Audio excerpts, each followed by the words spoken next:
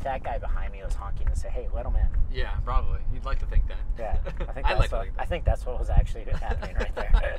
If you- we're all trying to help each other. I think on the roads out here.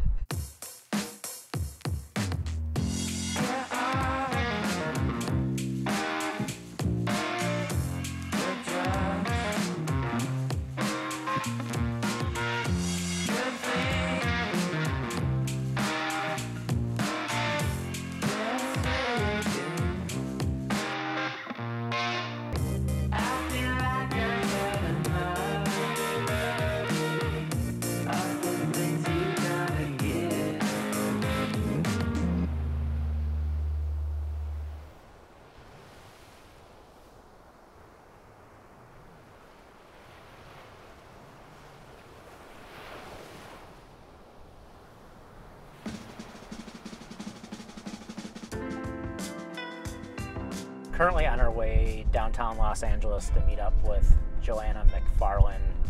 She is one of three female co-founders in Hop Skip Drive. And Hop Skip Drive's vision and what they're implementing is ride service for kids uh, to help families take the stress out of their busy schedules. They're disrupting an industry, but at the same time, they're partnering with some of the incumbents in the industry. I think that's really unique. Hey, how's it going? Hi, Jeff. Good to see you. Good to see you. This is the Reef Building. Okay. It's a lot of showrooms and then a couple floors of creative office space. And it's great because it's so conveniently located that we can recruit from all over the city. Which is very helpful. Yes. so this is our growth team. This is sales and marketing. And over there is our community experience team, which is customer support and also our Safe Rides team. So that is the team that monitors every ride live in real time. And our kitchen replete with donuts as every startup should be. Exactly. Well, since it's Hop Skip Drive, I thought it would make the most sense for us to go for a drive and talk. So let's go do that. Let's do it.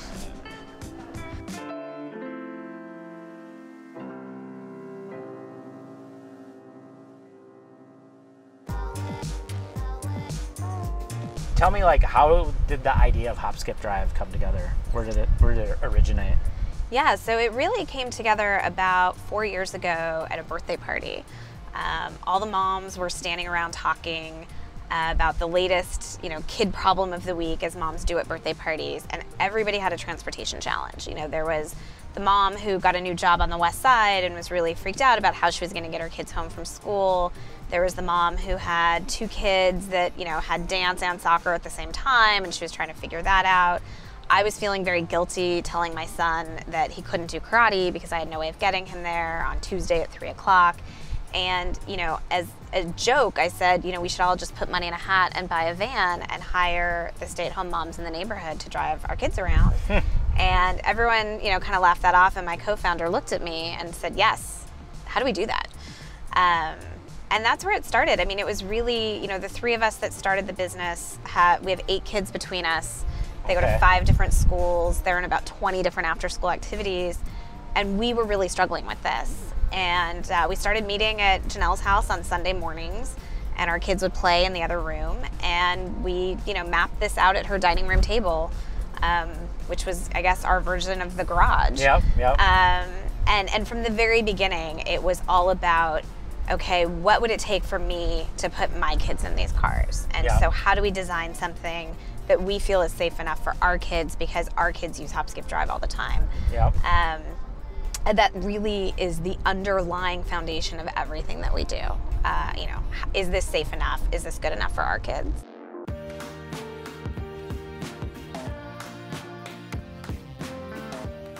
Who were some of the first early investors in the in the business?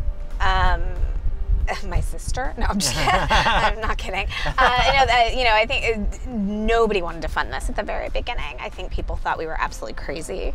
Um, you know, you spend your whole, every parent tells their kids not to talk to strangers, and, and Yeah. here we were saying, you know, get in a car with not a stranger, but somebody you've never met. Yep. Um, so we, you know, I think we, I, I think I went on a couple of, of really bad pitch meetings, uh, looking back with a really bad deck, and um, and we got told no a lot. And so we just raised a friends and family round, and you know we didn't raise nearly. We knew that it was not nearly enough, Yep. um, but we just got started anyway, and and kept going because I think one of the the other milestones that we needed to prove was that parents would do this and that there was demand for this, and so we just needed to get started. Um, and this is a very you know everyone talks about you know lean startup, break things, move fast, um, which is all fine and good, and we do a lot of testing, but you know, we're driving kids, and so you can't just throw something janky out there and see how it's working. Um, Not an environment to fail fast no, or fail. no, right? Right. So things have, I mean, Yeah. the system had to work, the safety procedures, the operational procedures had to be in place for how we recruited drivers and who care drivers were, and all of that had to be, you know, it was not just, you know, th- throw it up and see what happens. And so, so we really had to do it and prove that parents would do it. Um, and and that's you know how we got our first investors, and we just kept raising as we kept going. We got more and more people excited and and sh- and could show, look, families are doing this, and Yep. families are doing this on recurring bases because we're really solving a huge problem for them. Uh, and so that's then what led to our seed round and, and subsequent investment.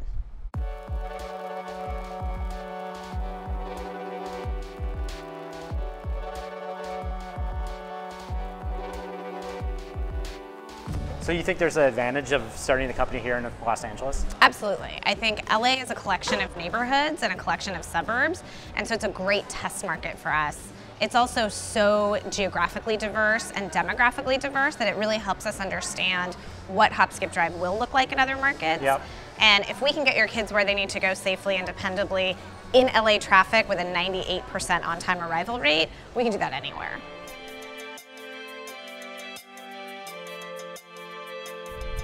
So fast forward from the, the founding days to today, what's Hop Skip Drive look like today? Yeah, Hop Skip Drive uh, in many ways looks exactly like I thought it would, and in many ways looks completely different. Um, Okay.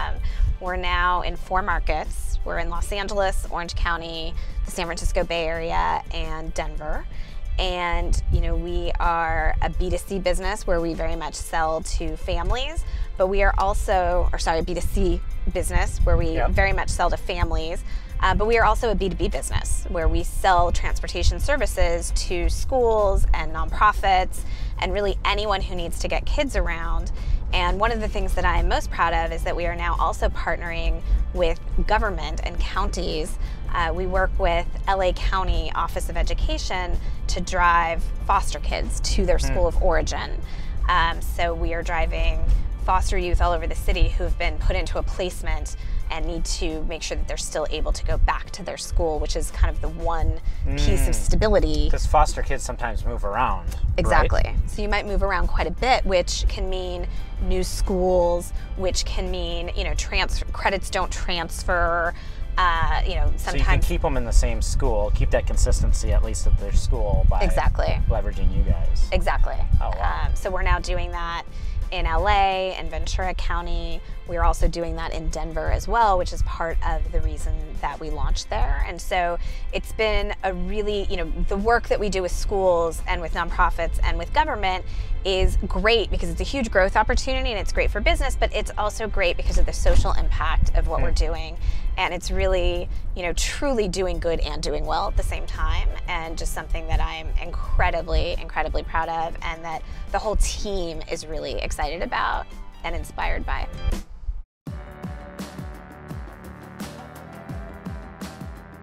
You know, I think one thing that's really interesting is like a lot of times you see something, uh, new technology business or a new marketplace business really disrupt uh, the industry. But in your case, you guys are like actually partnering. That's right. Yeah. So we one of our larger investors is Student Transportation Inc., which is one of the it's the third largest student bus company, and we don't think of it as disrupting as we do so much as complementing. Yep. Um, I think that in you know if you need to get 60 kids from point A to point B, the school bus is your best bet, hands down. Yep. Um, but oftentimes you see school buses that are incredibly underutilized, and that can be very expensive for a school. And so, when you know, if you need to get 20 kids from point A to point B, we can be a great option for you. Or if you need to get, you know, 60 kids around, but they're not just going from one point to another, they're coming from multiple areas where a school bus route might mean that kids are on a bus for hours to pick up all of those kids, you know, kind of a hub and spoke model. Okay. Um, we can be a really, really great solution for that. Um, and any kind of special needs transportation or individualized, customized transportation, we can do really well. Um, and I think that we will continue to be uh, complementary and a little bit disruptive on the technology side and the safety side and things that we can offer um, in terms of tracking procedures and things like that um, that will transform the industry. So starting a company and doing what you've done is not an easy thing. Why why did you do it? Yeah, it's I think it's a great question. I never set out to be an entrepreneur, but really this was such a problem that we felt so deeply and that every family we talked to feels so deeply that we really had no choice but to start it. And I think every day we see the impact that we have on families. We see how we are changing families' lives and empowering them to do things they couldn't do before. Both parents who are able to stay at work and get promotions, and kids who are able to do things they couldn't do before. And that's what makes it worth it every single day and, and why we do what we do. Awesome. Well, thanks. Yeah, thanks thank for you. joining me.